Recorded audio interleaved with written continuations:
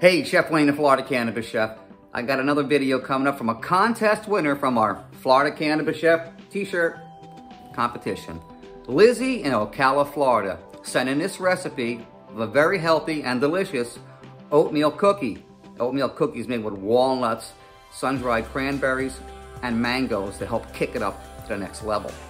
You ready? We're going to get started on Lizzy's out of this world oatmeal cookies right now. Hey, and they're delicious. You want to check this out.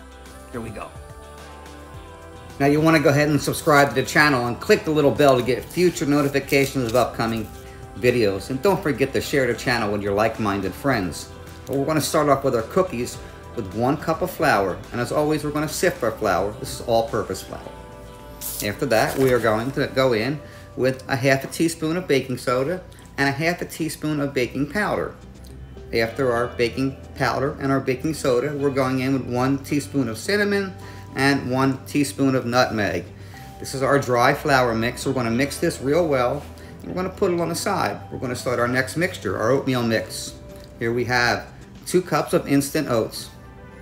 Also, we are going to go with one cup of sun-dried cranberries, and one cup of walnuts. As you notice, I beat these walnuts up a little bit more just to make smaller chunks.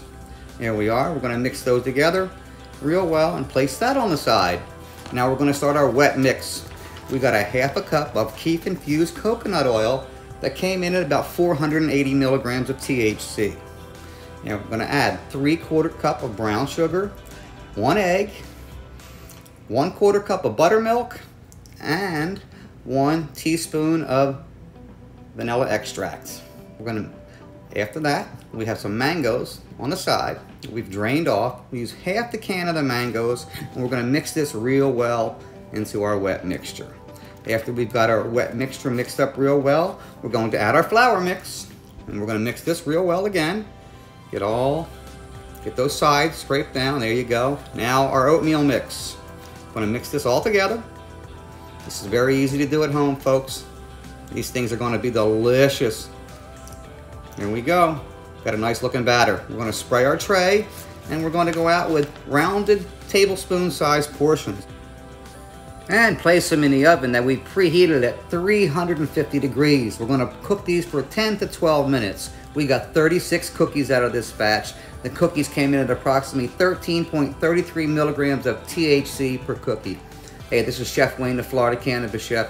We really hope you enjoyed this version of Lizzy's recipe of out of this world oatmeal cookies. This is Chef Wayne, the Florida Cannabis Chef. Don't forget to subscribe to that channel. We'll see you next time.